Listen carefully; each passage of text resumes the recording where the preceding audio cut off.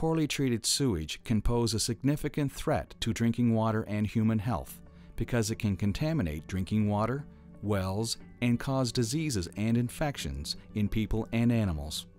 Typical pollutants in household wastewater are nitrogen, phosphorus, and disease-causing bacteria and viruses. When septic systems are properly designed, built, and maintained, they reduce or eliminate most human health or environmental threats posed by these pollutants.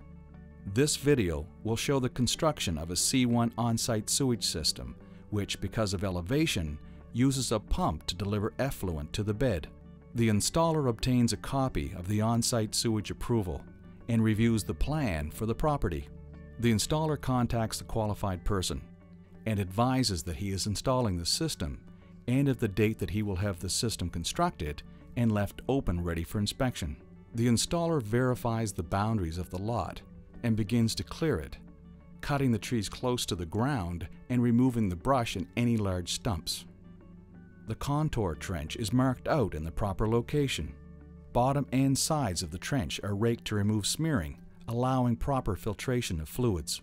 Filter sand is placed in the trench to the required depth and raked level. A minimum of 125 millimeter of rock is placed in the trench for pipe support. Solid pipe is assembled on the top of the rock to the proper length. The end of the pipe is capped, and holes are drilled in the bottom of the solid pipe to the required spacing.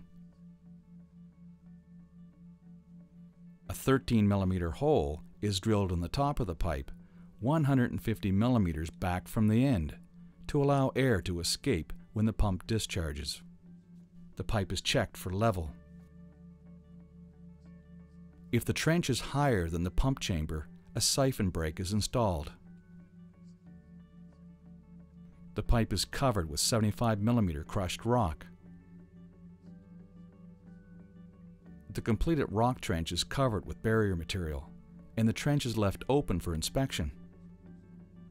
The septic tank is a buried watertight container, typically made of concrete, fiberglass, or plastic.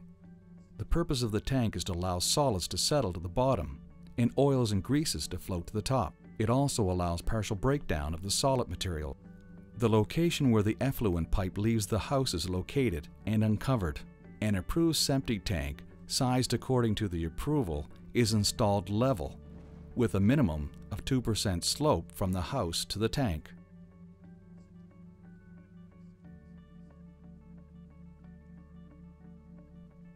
In this installation, a 2,800 liter two compartment tank was used. Minimum separation distances from the septic tank must be kept in mind, including 1.5 meters from the foundation drain. The seam is wiped clean, gasket material is applied, and the top of the tank is put in place. Only the mostly clear effluent leaves the tank and continues to the bed for further treatment. If the disposal bed is at a higher elevation than the septic tank, an approved pump chamber must be used to deliver the effluent to the bed. The pump chamber, sized according to the approval, is installed level. The pump is assembled and on-off alarm floats are set. The pump is installed in the pump chamber, making sure the pump is easily accessible from the riser. Additional risers may be necessary to bring the covers of the pump chamber and septic tank to grade. Wiring for the pump and alarms is connected according to the electrical code. The septic tank is connected to the house with a T or baffle installed at the inlet to the septic tank. The pipe is graded and supported with crushed rock. The pump chamber is connected to the septic tank with an approved effluent filter installed at the outlet of the septic tank.